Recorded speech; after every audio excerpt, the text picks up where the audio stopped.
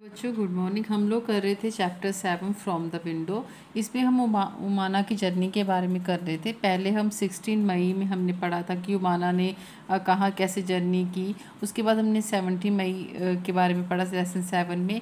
इसमें हम आगे पढ़ेंगे ब्रिजेस के बारे में। हमने लेवल क्रॉसिंग के बारे में पढ़ा था कि यहाँ पर रोड जहाँ पर रोड और रेलवे ट्रैक सेम लेवल पे होता है, उसे लेवल क्रॉसिंग कहते हैं, ठीक है? थीके? उसके बाद हमने उमाना ने अपनी जर्नी में लिखा था ब्रिजेस के बारे में। तो ब्रिज क्या होते हैं, हमने वो भी पढ़ा था जो मेटल ब्रिज के बारे में पढ़ा था, फिर हमने देखा था कि वहाँ पर जो जहाँ पर उसका ट्रेन का ब्रिज था, उसके सामने ही सीमेंट ब्रिज था। तो ब्रिज क्या होता है, path made over the road और रिवर टू क्रॉस इट। जिसे हम ब्रिज कहते हैं। इसी तरह ही रेलवे लाइन में जैसे समुंदर है या फिर रिवर को क्रॉस करने के लिए रेलवे लाइन का जो मेटल ब्रिज बना होता है तो इसके बारे में पढ़ा था। आज हम पढ़ेंगे टनल्स क्या होती हैं। बेसिकली टनल्स जैसे जो मोस्टली पहाड़ी रास्ते होते हैं, पठार वगैरह होते हैं, वहाँ पर एक उसकी जब हमें उस पहाड़ को क्रॉस करना होता है तो उसके लिए हम लोग टनल बनाई जाती है। कि जो ट्रेन है एक साइड से जाती है, उस टनल में ऐसे खोद के रास्ता बनाया जाता है और दूसरी साइड से वो निकलती है, ठीक है? तो ये होती है टनल्स। टनल्स बेसिकली हम बोल सकते हैं कि हमें जो माउंटेन है, उसको क्रॉस करना है तो ऐसे तो क्रॉस कर नहीं सकते तो वो क्या करते हैं कि उसको थोड़ा सा, उसको खोद कर वहाँ पर एक सीधा रोड बना देते हैं, जिस पे ट्रैक बिछा देते हैं कि हमें अगर इस माउंटेन के दूसरी साइड जाना है तो उसके जो आप, जो एक जो सुरंग सा बना हुआ है, उसमें से निकल के हम माउंटेन की दूसरी साइड पे चले जाते इसे हम लोग कहते हैं क्या कहते हैं? टनल्स कहते हैं, ठीक है? चलिए देखती है उमाना क्या लिखती है। उमाना ने लिखता है, लिखा है कि last few hours have been so exciting after breakfast I climb up to upper upper berth to read high comics तो उमाना कहते हैं कि सुनील ने उसे कुछ कॉमिक्स बुक्स स्टोरी बुक्स दी थी पढ़ने के लिए। तो लास्ट के जो आज थे लास्ट का टाइम था, बड़ा अच्छा तो उसने ब्रेकफास्ट किया। और वो अपर बर्थ मैंने बताया था आपको, जो सीट जो रेलवे में बैठने के लिए या सोने के लिए रेस्ट करने के लिए जो सीट्स होती हैं अपर बर्थ जो ऊपर वाली सीट है, वहाँ चली गई और अपनी बुक पढ़ने लगी। It was bright it's were bright sunny outside कहती बहुत ही तेज़ धूप, बड़ा ही ब्राइट सा दिन था।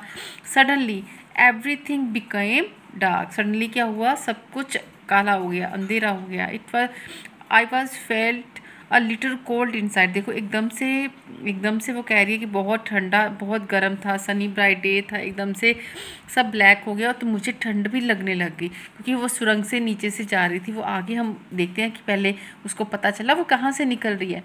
आई आई वॉज़ अफ्रेड अभी एकदम से दिन था, फिर अंधेरा हो गया तो वो डर भी गई। Then the lights in the train came on. तो क्या होगा, जब अंधेरा हो जाता है तो जो लाइट्स हैं ट्रेन की, ऑन कर देंगे। But outside it was very dark train की लाइट ऑन कर दी तो ट्रेन में लाइट हो गई और वो, लेकिन जो बाहर था बहुत अंधेरा। सम वन सैड लेकिन फिर किसी ने मुझे बताया we have enter a tunnel तो हम एक टनल एक सुरंग से निकल रहे हैं। This goes right through the mountain तो टनल्स किस, कहाँ से निकलती है? माउंटेन्स जैसे मैंने अभी बताया, जैसे माउंटेन्स को क्रॉस करने के लिए एक सुरंग सी बनाई जाती है कि पूरा वहाँ से पूरा ट्रेन निकल जाए। तो इसको टनल कहते हैं, ठीक है? क्योंकि अंदर माउंटेन के अंदर होती है तो इसमें काफ़ी था और ठंडा भी था। ठीक है तो उसको माना को किसी ने बताया कि इसलिए डार्क है क्योंकि हम लोग कहाँ से गुजर रहे हैं? हम लोग टनल से गुजर रहे हैं। The tunnel seems to go on and on tunnel पूरा पहाड़ हमें क्रॉस करना था तो, तो टनल ऐसे लग रहा था ख़त्म ही नहीं हो रही है। टनल टनल बहुत लंबी थी। मतलब से बहुत लंबी थी। Then suddenly then just as suddenly we were in the day night again तो कहते हैं ऐसे हम लोग पूरा क्रॉस करते रहे, बहुत टाइम लगा। उसके बाद हम लोग फिर दिन की रोशनी में आ गए। आउटसाइड इट वॉज़ सनी तो बाहर क्या था? बहुत ही सनी दिन था। The train had cross the tunnel train ने क्रॉस कर लिया टनल को। Appa explain that we were on the other side of mountain तो पापा ने बताया कि जो जो टनल थी इसमें हम लोग को ट्रेन से क्रॉस कर लिया। अब हमने जो पूरा सा पहाड़ था माउंटेन का उसको क्रॉस करके अंदर से जिसने थोड़ा टाइम लिया और हम माउंटेन के दूसरी साइड पहुँच गए हैं, उस तो माउंटेन की दूसरी साइड पहुँचने के लिए क्या बना दी गई थी? टनल बना दी गई थी ताकि हम आराम से उस पहाड़ की जो सुरंग बना दी गई थी, उससे हम उस पहाड़ के दूसरी साइड पहुँच जाएँ, ठीक है? तो पप्पा ने उसके, अप्पा ने बता दिया कि बेटा हम लोगों ने टनल क्रॉस कर लिया है, ठीक है? Uh, the uh, papa papa explained that we were on the other side of mountain since then we have passed through four smaller tunnels now it was enjoying going through the tunnels कहते उसके बाद फिर हमने चार और tunnels को cross किया। तो अब क्या था? उमाना को डर नहीं लग रहा था और उसे वो बहुत ही एक्साइटेड हो जाती थी। एकदम से जब डार्क होता था तो वो बहुत एक्साइटेड हो जाती थी कि वो अब क्या क्रॉस करने लगे हैं? टनल क्रॉस करने लगे हैं। आगे question have you ever been through the tunnel how did you feel तो उन्होंने पूछा कि आपने कभी टनल क्रॉस की है? तो आपको कैसे कैसा लगा था? आपको स्केरी था? आपने इंजॉय किया? क्या किया? Yes I have begin I have beginning to use in beginning I am very scary but after that I am enjoying it तो कहना yes I have cross so many tunnels while crow going Goa और जहाँ भी आपने tunnel cross किया तो आप लिख दो कि पहले मुझे डर लग रहा था, बाद में से अगर नहीं क्रॉस किया तो नो लिख दो। The route from Goa and and Kerala has total 2000 bridges and 92 tunnels. What, why do you think that there is so many bridges and tunnels? कहते हैं, गोवा से जब हम लोग केरला जाते हैं तो 2000 ब्रिजेस हैं 92 टनल्स है। अब आप ये बताओ कि भैया इतना टनल्स और ब्रिजेस उन्होंने क्यों बनाए गए हैं? देखो, पहले अहमदाबाद जाते हैं, अहमदाबाद से गोवा गए, गोवा से केरला। कितना दूर का है वो, है ना? कहाँ गोवा, कहाँ केरला? तो कहते हैं, इस रूट में as as a route from Goa to Kerala in along with the sea coast कहते गोवा से को केरला जो रूट है, वो एक समुंदर का रास्ता है, ठीक है? तो वहाँ पर रास्ते में जो ट्रेन को बहुत सारे माउंटेन्स वाटर बॉडीज़ और हिल्स क्रॉस करने पड़ते हैं। क्योंकि उसे वो सब चीज़ें क्रॉस करनी पड़ती हैं तो so to cross them there so many bridges and tunnels उनके लिए बहुत से ब्रिज पुल बनाए जाते हैं कि वाटर बोटीज़ को क्रॉस कर सकें और uh, बहुत से माउंटेन्स और हिल है। उन हिल्स को क्रॉस करने के लिए क्या बनाई जाती हैं? टनल्स बनाई जाती हैं। तो हमने क्या सीखा? टनल्स क्या होती हैं? टनल्स बेसिकली एक माउंटेन्स या हिल्स को क्रॉस करने के लिए बनाई जाती हैं ताकि हम आराम से उन माउंटेन्स और हिल्स को क्रॉस कर लें। इसके लिए क्या किया जाता है? उसमें से एक रास्ता बना दिया जाता है। एक एक सुरंग बना दी जाती है, एक माउंटेन हिल के एक सिरे से उसके दूसरे सिरे तक, ताकि हम ट्रेन उस फिर जो रास्ते में ट्रेन का ट्रैक बिछा देते हैं, ताकि वो ट्रेन सामान और लोगों को पैसेंजर को एक सा, एक एक शो, एक शोर से दूसरे शोर तक पहुँचा दें मतलब माउंटेन के दूसरे रास्ते में हमें दूसरी साइड हम पहुँच जाएँ, उसके लिए टनल बनाई जाती है, ठीक है? और आगे क्या है? चलिए, आगे फिर उसने बोला है कि अब उसने बोला कि amazing if on the way there there have be no tunnels मान लो कि हम कहते हैं कि टनल और ब्रिजेज बहुत हेल्प करते हैं हमें क्रॉस करने के लिए। जैसे गोवा से केरला वो गई, इतनी दूर का रिश्ता, रास्ता था वो, और समुंदर भी पड़ता था, पहाड़ भी पड़ते थे हिल भी पड़ते मान लो, अगर पूरे रास्ते में कोई ब्रिज नहीं है तो माउंटेन में है तो क्या होगा? तो इट इज़ वेरी एक तो बड़ा तो बाई एयर ही जाना पड़ेगा भैया, इतना मतलब ब्रिज भी नहीं है जी माउंटेन पॉसिबल ही नहीं है क्रॉस करना ट्रेन से, बिल्कुल हम लोग हम लोग ब्रिज क्रॉस नहीं करेंगे टनल क्रॉस नहीं करेंगे तो कैसे पहुँचेंगे? पॉसिबल नहीं है। आगे वो बताती है माना and now it is afternoon और उनका लंच टाइम हो गया है उन्होंने इडली वड़ा खाया वी बोट अब वी बोट फ्रॉम उपडी उपदी स्टेशन से उन्होंने क्या किया जो कर्नाटक में आता है, वहाँ उन्होंने इडली वड़ा उन्होंने ले लिया। और आगे वो बताते we also bought some bananas भी ले लिए उन्होंने। This bananas are very small and very tasty bananas जो थे, छोटे थे और बहुत ही टेस्टी थे।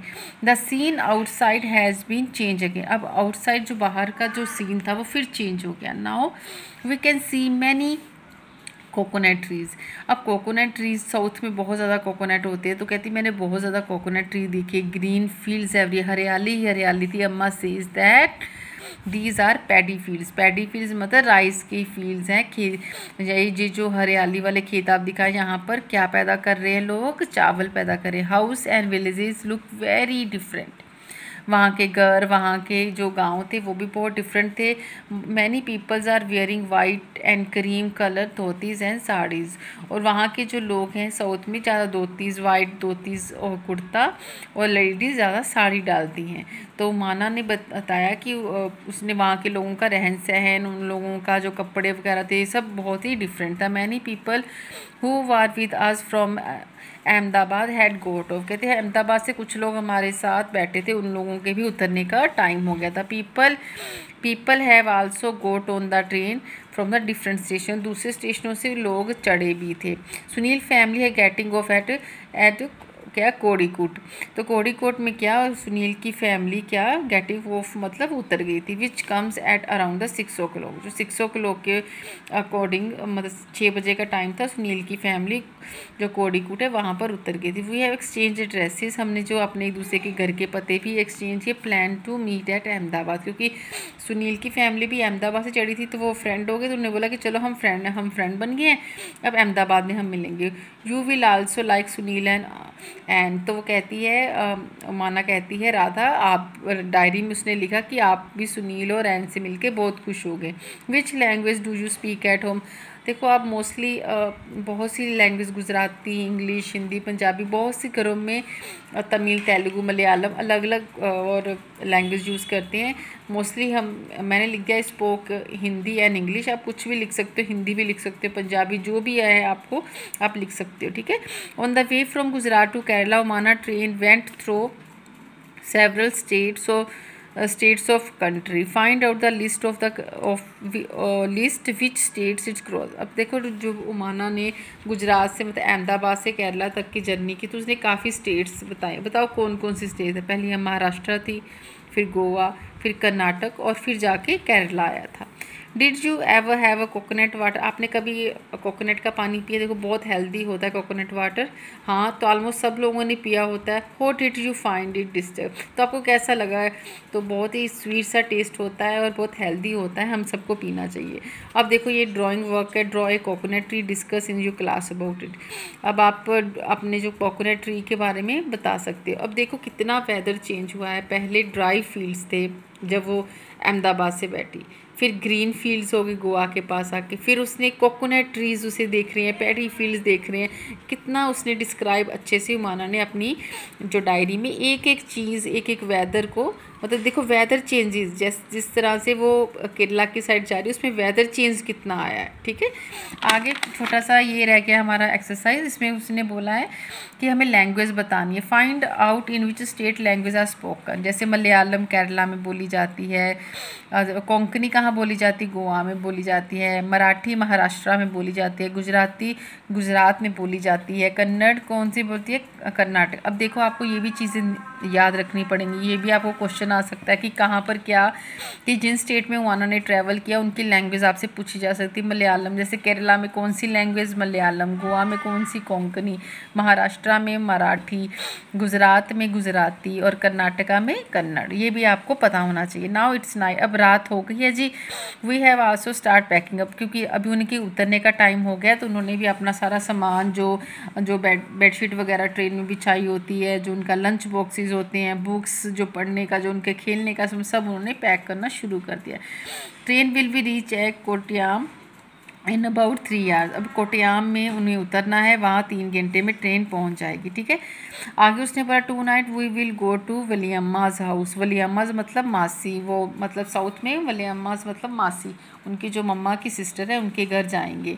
Tomorrow we will take a bus and we we will and it will take us to Ammu Amma's house तो हम अगले दिन बस लेंगे वलियामा मतलब मासी के घर से तो नानी के घर पहुँच जाएँगे। वी आल क्वाइट टायर्ड देखो इतना लंबा ट्रैवल किया तो वो कहती हम तो बहुत थक। गए after all we have been on the train for the two days कहते दो दिन से हम लोग ट्रेन थे, थे अब थक गए हैं। वट ए लॉन्ग जर्नी बहुत ही लंबा रास्ता था. It has been we had lot of fun लेकिन मज़ा बहुत आया। अब I will put my diary away now अब कहती मैं थक गई हूँ तो मुझे डायरी नहीं लिखनी है, मैं डायरी बंद करने लगी I will write again after we reach अब मम्माज हाउस अब मैं जब नानी के घर पहुँचूँगी, तब जाके डायरीज लिखूँगी। अब लास्ट में जो है हमारे पास what did you call them you are mother sister मासी बोलते हैं हम। हमारी जो मदर्स मदर को क्या बोलते हैं? नानी बोलते हैं, हमारे फादर सिस्टर्स को क्या बोलते हैं भाई? बुआ बोलते हैं फादर मदर को दादी बोलते हैं। तो ये हमारा माना की जो जर्नी थी, वो पहुँच गई है नानी के घर। मतलब ये हमारा पूरा था जर्नी ख़त्म हो गया। इसमें आपको ये लैंग्वेज को भी माइंड में रखना है, आपको मैप भी आएगा कि केरला पूछ सकते हैं, केरला कहाँ है, इंडिया के मैप में, गोवा कहाँ है महाराष्ट्र कहाँ है, गुजरात कहाँ है, कर्नाटक कहाँ है, उसके बाद आपको टनल्स क्या होती हैं मेन ये भी पूछा जा सकता है, और ब्रिजेस के बारे में, ये सब चीज़ें और लेवल क्रॉसिंग ये सब चीज़ें आप लोग को ध्यान में रखनी है। चलिए जल्दी मिलते हैं नेक्स्ट चैप्टर के साथ। Okay bye thank you